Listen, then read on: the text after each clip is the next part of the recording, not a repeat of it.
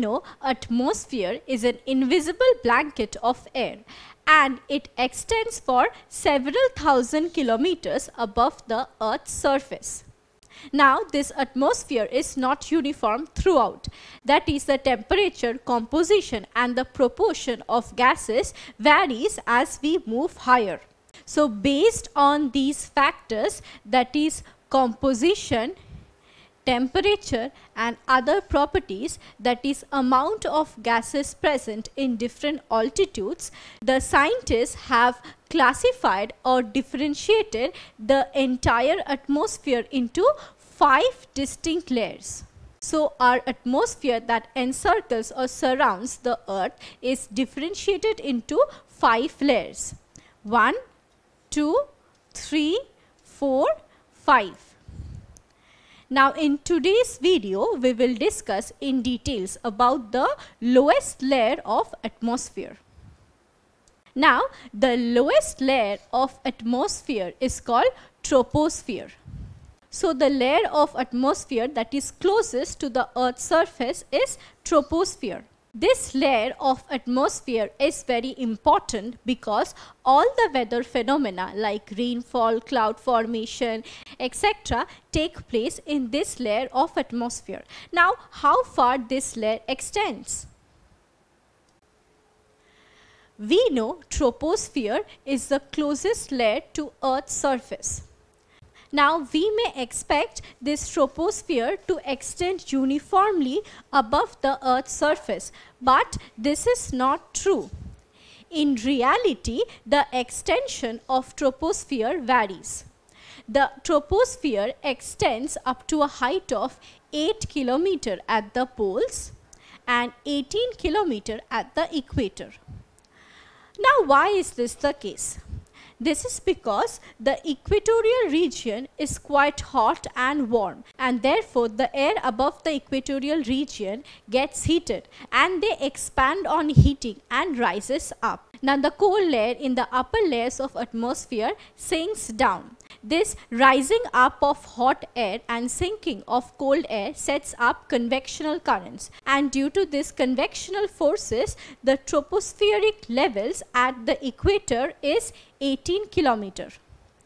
Now at the poles the temperature is quite low. So the air at the poles become cold and dense and therefore they sink. Now due to sinking or contraction of cold air the tropospheric level at the poles is 8 kilometer.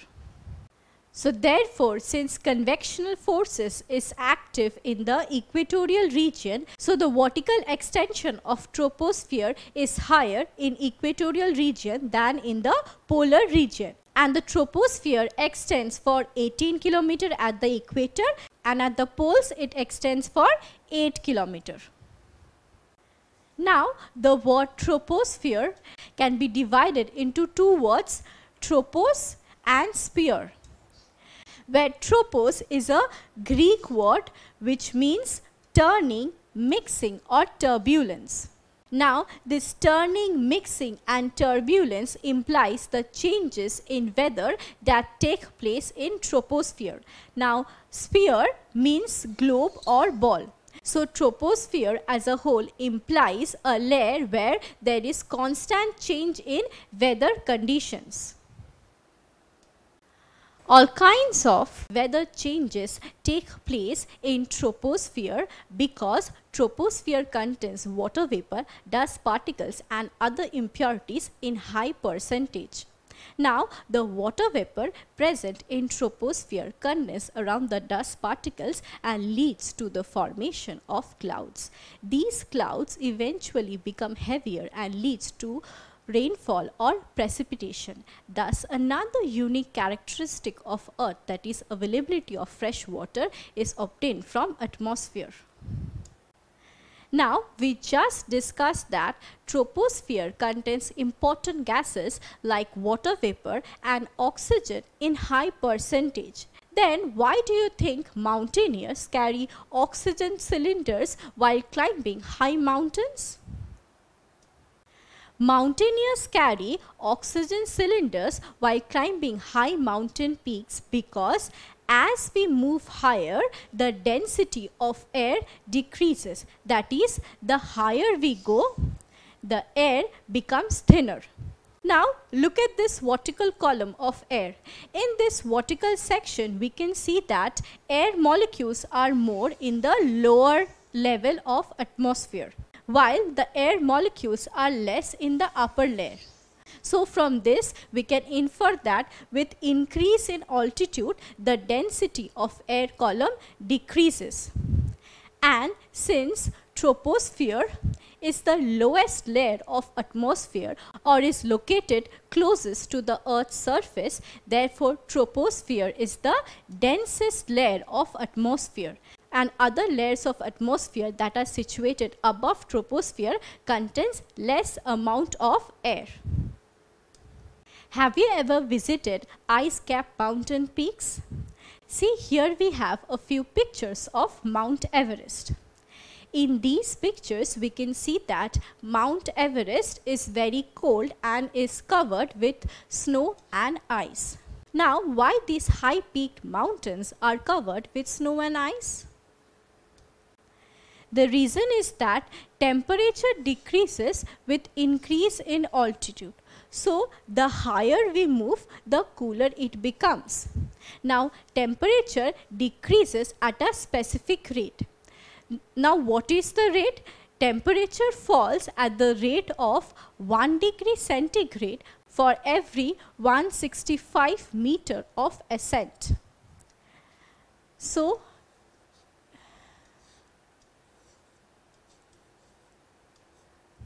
now if you multiply 6.5 in numerator and denominator then we get 6.5 and 1000 meter approximately.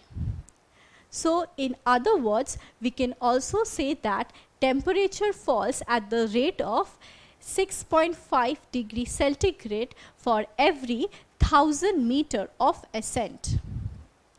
Now let us assume that the temperature at the mean sea level that is at 0 meter is 30 degree centigrade. Now if we move 1000 meter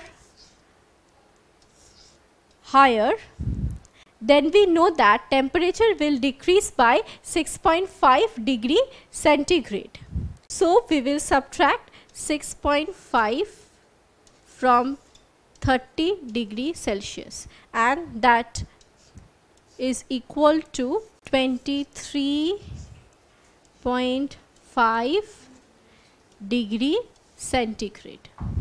Now let us move again by 1000 meter more that is at 2000 meter the temperature will again decrease by 6.5 degree centigrade and that is equal to 17 degree Celsius. Now again at 3000 meter that is if there is an increase in altitude by 1000 meter more then temperature again decreases by 6.5 degree centigrade and that is equal to 10.5 degree centigrade. So we see that as altitude increases the temperature continuously decreases. So temperature and altitude are inversely related. So this constant decrease in temperature due to increase in altitude is known as normal lapse rate. So according to normal lapse rate, temperature falls or decreases at the rate of 1 degree Celsius for every 165 meter of ascent or 6.5 degree centigrade for every 1000 meter of ascent and this behavior or decrease in temperature is known as normal lapse rate. So now do you understand why the high peaks of mountains like Mount Everest are covered in snow? Because the altitude of Mount Everest is more than 8000 meter and from this numerical we can conclude that the temperature at this altitude will be lower than the freezing point that is 0 degree centigrade and due to this reason these high peaked mountains like Mount Everest remains covered with snow and ice throughout the year. Now let us continue with our lesson. In troposphere, temperature decreases at the rate of 5.6 degree centigrade per 1000 meter of ascent, 6.5 degree centigrade per 1000 meter of ascent, 10.5 degree centigrade per 2000 meter of ascent. Or 5 degree centigrade per 650 meter of ascent. Well, the correct answer is 6.5 degree centigrade per 1000 meter of ascent because according to normal lapse rate we know that temperature decreases at this rate. Now this graph shows the decrease in temperature in troposphere. We know in troposphere as altitude increases temperature keeps on decreasing. See from 20 the temperature decreases more than minus 40 degree centigrade and the temperature decreases till the boundary of troposphere and at the boundary of troposphere the decrease in temperature stops. So we just discussed that at the boundary of troposphere temperature ceases to decrease. Now this boundary of troposphere is known as tropopause. In other words, tropopause is the upper limit of troposphere. Now, in the previous graph, we saw that at the boundary of troposphere, the temperature decreases more than minus 40 degree centigrade and this temperature is below the freezing point that is 0 degree centigrade. So, the water vapor present in troposphere freezes into ice. Now, due to this reason, tropopause is also known as cold trap because it traps water vapor, dust particles and other impurities present in troposphere. And why so? This is because the water vapor dust particles and other impurities freezes into ice as temperature keeps on decreasing. So tropopause acts like a cap or an invisible barrier which does not allow the water vapor to cross this limit. So all the weather phenomena like cloud formation, rainfall etc. occur only in troposphere. Now let us discuss some of the important characteristics of troposphere. Troposphere is the lowest layer of atmosphere and it's closest to the earth's surface. So in this picture, this layer of atmosphere that is situated closest to the earth's surface is troposphere. Now as we discuss, the extension of troposphere is not uniform throughout.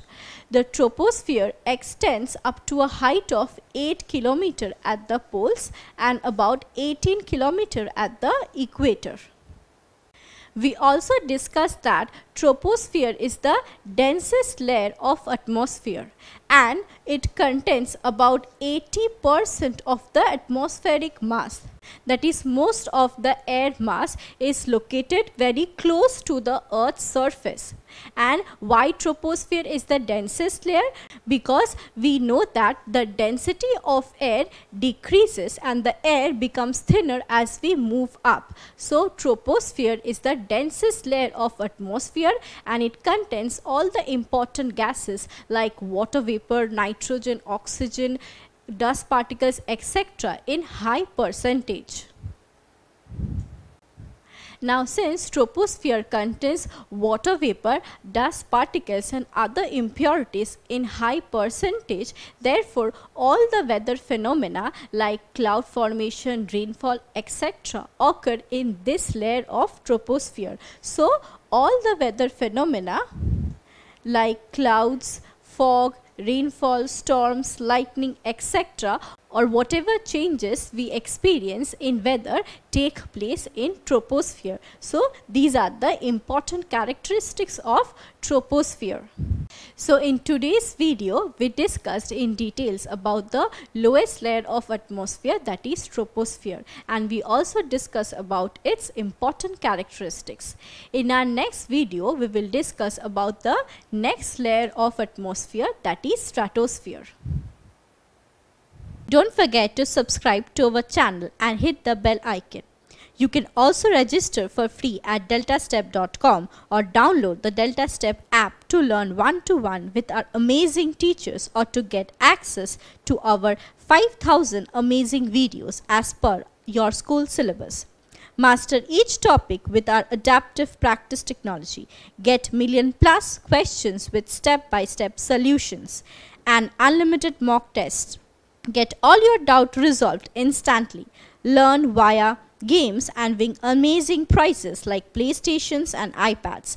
So at Delta Step, learning is not just fun and easy, but it's rewarding too. So register for free now.